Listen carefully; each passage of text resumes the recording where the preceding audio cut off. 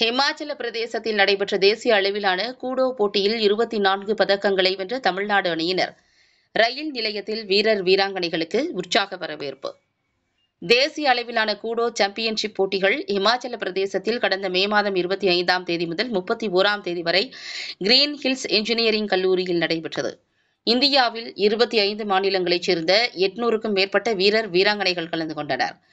தமிழகத்திலிருந்து தமிழக கூடோ சங்க தலைவரும் பயிற்சியாளருமான கந்தமூர்த்தி தலைமையிலான அறுபது வீரர் வீராங்கனைகள் பங்கேற்றனர்.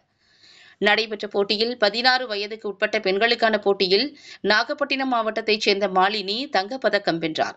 ஏழு வயதுக்கு உட்பட்ட ஆண்கள் பிரிவில் நிதர்சன சாய் பத்தொன்பது வயதுக்குட்பட்ட பெண்கள் பிரிவில் ரஞ்சனி இருபத்தி ஒரு வயதுக்குட்பட்ட பிரிவில் காவியா ஆகியோர் வெண்கலப் பதக்கம் வென்றனர்.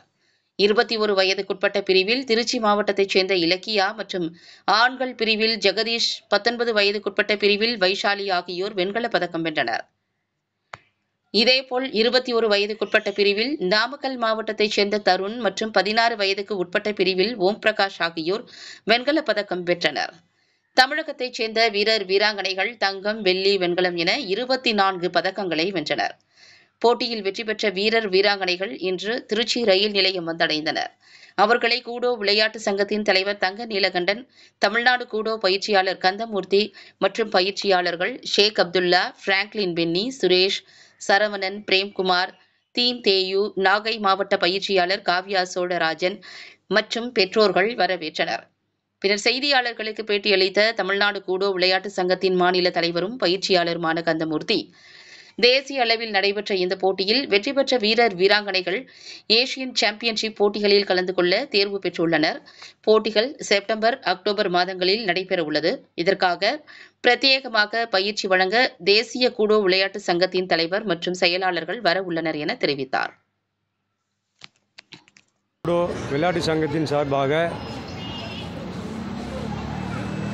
மே மாதம் இருபத்தி ஐந்து முதல் முப்பத்தி ஒன்று வரை Himachal Pradesh Solan green hills of engineering நடைபெற்ற ரெண்டாவது தேசிய அளவிலான கூடோ சாம்பியன்ஷிப் கப் போட்டியில் ஐம்ப அறுபதுக்கும் மேற்பட்ட மாணவ மாணவிகள் பங்கு பெற்றார்கள். இதில் திருச்சி நாகப்பட்டினம் ஈரோடு காஞ்சிபுரம் நாமக்கல் கோயம்புத்தூர் போன்ற மாவட்டங்களிலிருந்து வீர வீராங்கனைகள் இதில் பங்கு பெற்றார்கள். இதில் மூணு தங்கம் ஆறு வெள்ளி பதினாலு வெண்கலப் பதக்கம் பெற்று தமிழகம் மிகச்சிறந்த இடத்தில் இருக்கிறது.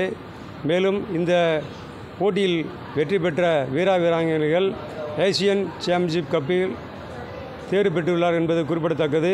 இந்த வெற்றி பெற்ற மாணவர்கள் மேலும் ஸ்போர்ட்ஸ் அத்தாரிட்டி தமிழ்நாடு மற்றும் சாயில் வழங்கக்கூடிய ஊக்கத்தொகைகள் மற்றும் போனஸ் மார்க்குகள் பெறுவதற்கு இந்த போட்டி தகுதி வாய்ந்த போட்டியாக அறிவிக்கப்பட்டுள்ளது என்பது குறிப்பிடத்தக்கது. செப்டம்பர் அக்டோபர் மாதங்களில் நடத்த இந்த ஏசியன் சாம்பியன் நடப்ப நடத்துவதற்கு அறிவிக்கப்பட்டுள்ளது. இதுக்கு உண்டான தகுதி போட்டிகள் மேலும் பயிற்சி முகாம்கள் தமிழகத்தில் நடத்துவதற்கு அங்கீகாரம் கொடுக்கப்பட்டுள்ளது.